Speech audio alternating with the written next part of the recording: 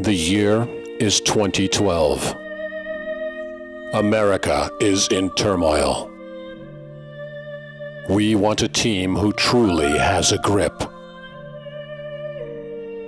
A team who is very hands on. Congressman Tim Holden.